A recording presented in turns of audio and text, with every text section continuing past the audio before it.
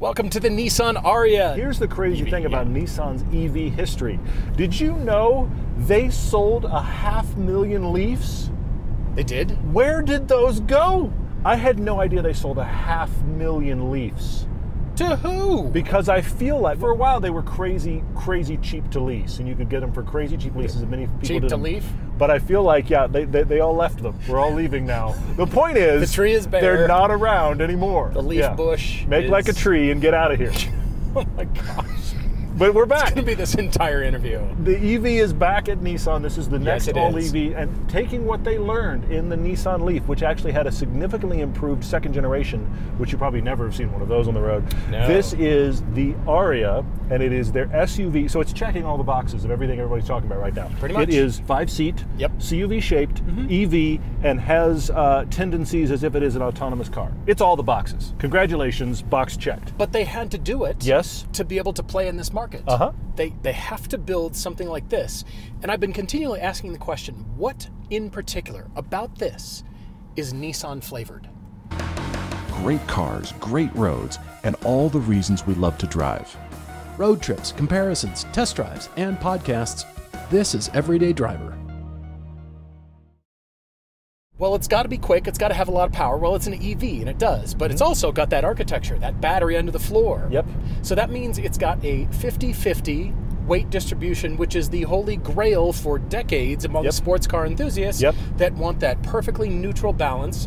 Yeah, it's got it, but so do all these other EVs. And the marketing materials suggest as if Nissan engineers discovered They- that architecture will give you a flat floor. There is yes. there is a lot of suggestion in the marketing materials that suggests as if Nissan discovered a lot of what's Welcome. going on here. It's not particular Yeah. to you. hmm that's a good point. So- All right, I and take it- that. You know what? It drives well, and I've been thinking, would I take one of these or would I take a, a Model Y? Because I had this parked next to a Model Y, and they were they're very similar in size. incredibly similar. If you're looking for any electric vehicle, you need Autotempest.com. So you can search all the car markets and even research dealers. Autotempest helps you search nationwide across all the used car sites, including Craigslist and Facebook Marketplace. Plus, you can get email alerts so you never miss a listing. We use it to research for our podcast, to search for crazy road trip cars, and just because we like to dream. And Autotempest can even help with new cars, pricing out the options and getting local dealer quotes. So if you're shopping for the Ariya or any EV, use autotempest.com slash everyday to get the help you need. Autotempest. All the cars, one search. We have the fully loaded Platinum Plus edition. There are nine flavors of mm-hmm. the Ariya to choose from. Nine. Starts at forty-four thousand dollars. This one is sixty-three almost. Yeah. That is twenty thousand dollars worth of difference. That is adding fifty percent to the base price to get through nine levels. This is, of course, the press car version, which means it is lots of badges. Platinum Plus and E-Force. E-Force. E-Force is not spelled like you think it does. Look at how it looks. and what I think is ridiculous is they put the letter four in front of the Orse. And then in the marketing materials, they put a pronunciation the number, key. The number four that acts like a letter. Yes, they put a the- pronunciation key. The number four, Orse. Uh, four. Orse. Orse. All right. Well, we're jumping on the freeway here, and you know you got to be very judicious about your throttle response because I've decided that EV drivers in this category will do one of two things. They will either charge it at their house Mm-hmm. and not care about using up all the juice and blast down the freeway and be quicker Sure. than Yeah, yeah. everyone else, or they will constantly watch the gauge. Like, uh oh, I'm way down to 81%. Uh oh, 81. I'm all the Hmm, way down to 81%. Hmm. Only 193 miles remaining. Nissan says that the Ariya will do 304 miles of range. That's Yes. not this particular one. You have to equip it properly. And it's only the front wheel drive flavor. It's not the fully loaded one. So at 5,000 pounds, just like every other SUV, 5C, Egg-shaped SUV. pretty Got it, much, Yes. Uh-huh. it drives very similarly to other things that we've experienced. Now, Nissan says, from a handling standpoint, it's got that crisp turn in. Not feeling crisp. There's no crispy. I would not But okay. describe anything this does Okay. as crisp. But I also think Fine. in this market segment, though, this drives like everything else. And none of those, with a couple of exceptions, what I describe as crisp handling. The five seat SUV world is not a world where I think the handling on this is great. Man, do There's only I a couple. feel Like Crispy. The BMW X3 and the Macan. Yeah. I mean, Yeah. these are the ones that have got like crisp handling. Maybe the Ariya didn't make the list. I'm sorry, it No. didn't. But that's not why you buy this. True. It really isn't. It's because you want an EV and you need cargo space. And this does deliver. Except for one glaring thing. The climate control system is housed up front, Uh huh. under the hood, Uh huh. which means there is no frunk.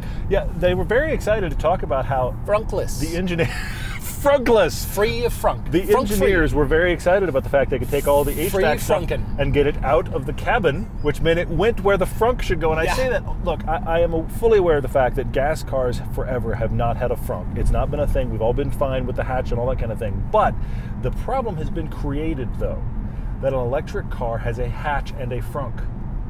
This so if is you what make they should an have. electric car without a frunk, it does look like a glaring omission. Now the Volkswagen ID4 did the same thing as this. There's all the HVAC stuff up there, and, and there's yet no they frunk. sold. They and they've sold pretty well. So I mean, clearly you can get around it, but it does feel like an omission when you're in an electric car. So we're on the freeway going, well, pretty fast, passing uh, a few cars Things here. are being passed, yes. And it has this E step. See the button in the center console. Mm-hmm. E step is really just that regenerative braking. So if you have it off, the car coasts well. But if you have it on, you let up and you can feel the car start to do that regen braking thing. Sure, yeah. Well, I noticed while charging this, I found the only, really, the only true 50 kilowatt charger available in the Park City area. Yeah, our infrastructure is not good. Yeah, It really isn't. cars. So I cannot speak to your infrastructure. True. It will vary for you. But this max is at just over 100. I think 130 is the max it will take. So if you're a person that is looking for the fastest possible charging EVs out there, this isn't in the upper category. You're right. EVs are very much still set up for it would be best if you had a charger at home. That definitely makes it the simplest. However, what I find really funny is since now we're creating a world where we're going to sit for a while. Mm-hmm. We can't get to our destination, but we can't go anywhere else. We're going to sit for a while. Here it comes. They have Here it comes. the extra little trough here. Woo! Hungry fella? This was described as not only an extra little storage area, but also you can close it and you can use it like a food tray while you're waiting. That was actually in the marketing materials. This is my food tray. I hope that's also not a laptop tray. Well, don't work on your laptop while you're driving. Well, but this wouldn't. Yeah, people are. Problem Please is do this is theoretically designed for you to do while you're sitting and charging and you're bored. Right. When you put a tray here like this, it, it's going to get how to put this tactfully. Tempting is going to be the, the, the verbiage, but then but this only opens with the fun little buttons here on the center console. This is not your glove box. Glove box is separate. That's just using little- up I'm gonna do it again. electricity. Mhm, You're using up electricity. We're going. no, well, we're still I- at 79. I, I do it enough; it might go down a whole percentage. If we sit here enough, going back and forth, I might use it up. Yep. Worried. All right. Well, the center console, since we're on electronic gadgets, Mm-hmm. the center console has buttons right here next to the driver to slide it fore and aft. So if the food trough didn't hold enough, you could use this to feed the brood in the back. Yes, feed the brood.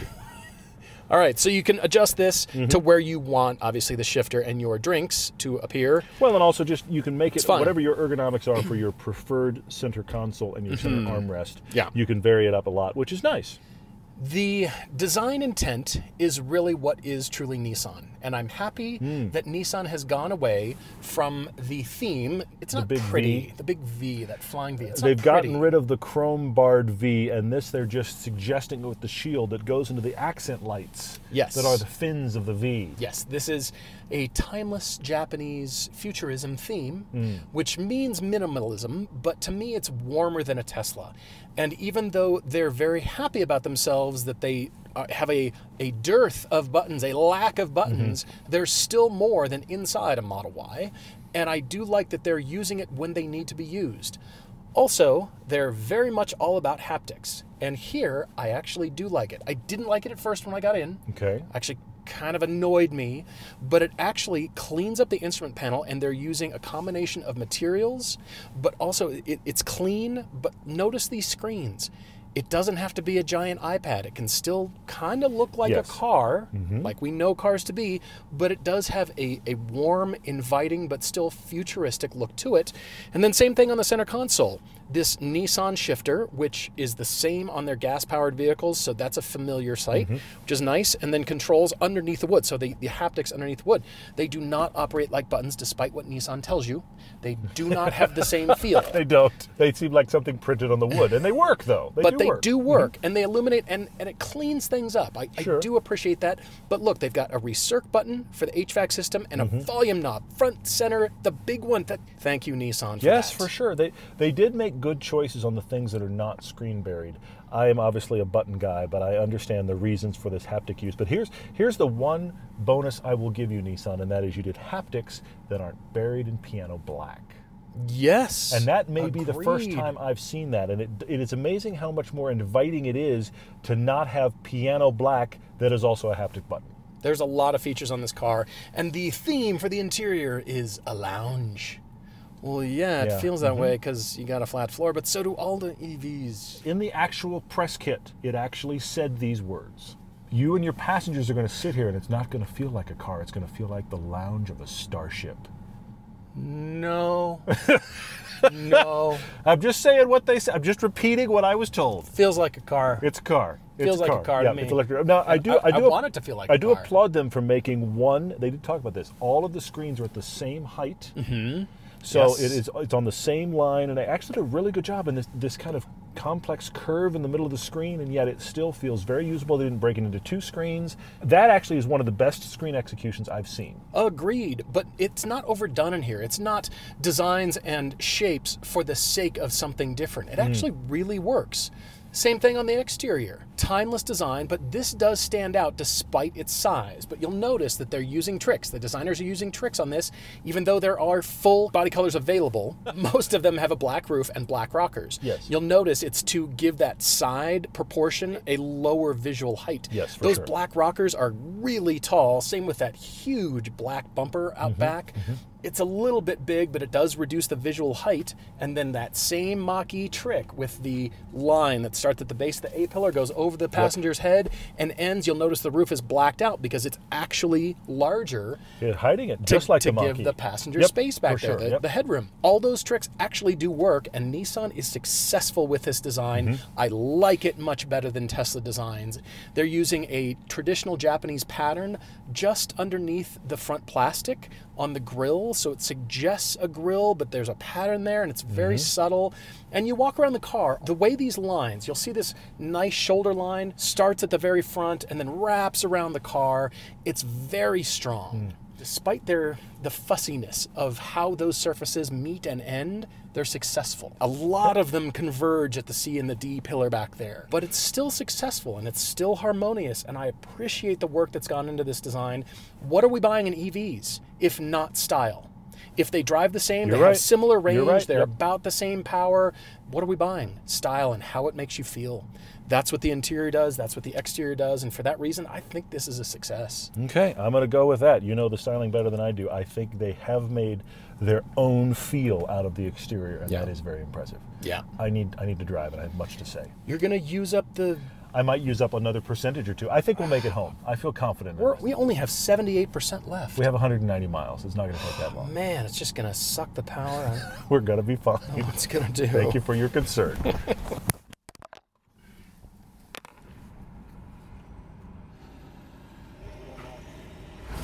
have to check something real quick.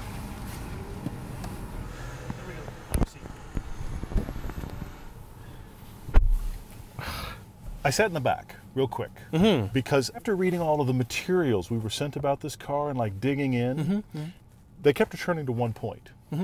The back seat has so much room you can cross your legs. I have a suggestion. In your lounge? Make it comfortable. There's space, but the seat is an uncomfortable back seat. In spite Yeah. of having a lot of usable space, the seat feels cheaper than this car is. And that's a problem. Fair commentary. Lot, lots, lots of good space here. They've done EV well. This doesn't feel like a company doing its first ever EV. I will applaud them. It that's doesn't? obvious because Nissan knows what they're doing. What are you This talking about? Build quality? Weird. This has Is that a shot This has close quality? to 400 horsepower. Okay, this is the two-motor all-wheel drive version. You have the Regen on quite a bit right now, but that's all good because you can do some one-pedal driving with this. I don't think you can go all the way to a stop. Can you? N- uh, almost. We'll try. almost. We'll try. Wait, maybe. Okay, full one pedal driving. Hang on, I think I it's might just a little bit of a transmission creep. Although I think you can turn that bit of off. creep. Dig in to get the one pedal to work like you want. But What'd you say, Starliner? we're in Is the, there any the fabric lounge mode? of a starship. Is there any fabric mode in here? You know it. We're in the lounge of a starship. Woohoo! Ooh, So- 382 horsepower, In- in the- 442 pound feet of torque. In the world of EVs, this has acceptable power. This is not one of the most powerful out there. But what I want to talk about in this is drive modes. Every EV on the planet has drive modes. Drive modes is the thing that all cars are doing now, and this makes some interesting choices that I don't think I like. We're in normal mode right now, and you know what? We in are. normal mode, I, I will actually give this some real credit. It rides well in normal mode. It's quiet. It does all the EV things. The the handling is fine. The ride is good. I don't have any issues. Then you go to sport mode. Oh, there it is. Oh, That is this car. What is that noise? It is a grumbling whoosh. it's the distant sound of chainsaws. Something like that's like a grumble with a whistle combined. You know, I noticed this too when I put it in sport because usually, I mean, that's the default setting. You would think? get in a car, and Yes. sport. I heard this noise and I thought, is that? I thought there was a problem. on? I thought it was another car. Is something they have, Here you go. Yeah, that's the problem. They have It fabricated a noise to go with your increases. accelerator as if it's like their digital futuristic engine noise. It's a bad noise. That's the problem. It's a bad noise. And the other thing that happens that I only discovered in sport mode because I kept thinking how great this thing rode. And then I happened to have it in sport mode and I was pondering the engine noise because it is a noise. And then I began to porpoise down the road. You noticed that too? A porpoising got In it- sport it or standard? I noticed it in sport. Because I noticed it in standard. Okay, well- it was softer in standard, and so I put it back in sport. It depends on the road, and it's the undulations in the road that match the wheelbase. If you find that's all it the is. exact wrong combination of Yeah. road and suspension, there is porpoising. Yes. And that is something that I have rarely ever encountered in cars. And Agreed. unfortunately, now, you may drive this your entire life and it may never happen to you once. depends on the road. I wind up feeling like this is a really mixed bag in a competitive market. Mm-hmm. I think that the Model Y is a little bit better than this dynamically, speed, and also infrastructure. Agree. I prefer the interior in this than I do to the Model Y. I actually prefer the look of this over the Model Y. Agreed, But from a driving perspective, I'd rather be driving the Model Y. But then I think of, hang on a second, the Mustang Mach E exists. And I think I would take that over this across the board. Because 44 grand for the base, this feels like a lot of car for 44 grand. I don't feel like it feels like enough car at 60 plus grand. The problem with the forty-four thousand dollar version is you're only getting a sixty-seven kilowatt per hour battery. Yep. You're not getting the eighty-seven that's in this, Yep. and you're only getting front-wheel drive. Yes, So if you want true. to upgrade and you want all the features that this has, Mhm. And the nicer extra interior pieces Welcome and the stuff to- that makes it feel like I agree. EVs cost about sixty thousand dollars. Mm-hmm. That's what this is. And, but I do think Nissan they have a solid, very good entry into this market. If you are no, shopping, I agree. Yes. If, if it's you- not necessarily like the range standout or the acceleration standout. Do they need to be the fastest thing ever? Not really. You're This just will be using up your faster than whatever gas car the person owned prior. Yes. If the Nissan Ariya interests you, I think you will be satisfied. I agree to that. if yeah. you were looking for what's the best five-seat SUV that's also an EV, it's not this one. The EV6, I think, is better than this. The Mustang Mach-E is better than this. The Ioniq 5 is better than this. Those are the standouts of the segment. and the GV60. The GV60. I keep thinking uh, about how it's- much it's I the- like that. Mhm. It- and it was only about uh, five to ten grand more than this loaded out, and it felt like a luxury item at 65, Yes, 70 it grand. did. This at low 60s does not feel like a luxury item. It feels very good, but I would not describe it as luxury. This interests you, and you can get a deal that you like on it. I think you will be very satisfied. I don't think it's a segment leader. If they're all pretty much the same range Mm-hmm. and they all have about the same horsepower and similar feeling acceleration, unless it's a handling standout, you're buying style. You are. You're right. You're right.